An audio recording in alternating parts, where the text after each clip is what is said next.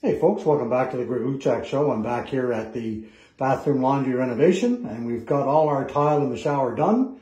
As you can see, our herringbone experience is ready to go. We're just about ready to start grouting. So I'll turn the camera, so I'll come back when I've done some grout. Okay, we're all grouted up. We'll come back tomorrow, we'll wash that down, and then we're gonna start painting and installing our cabinets and fixtures. Stay tuned.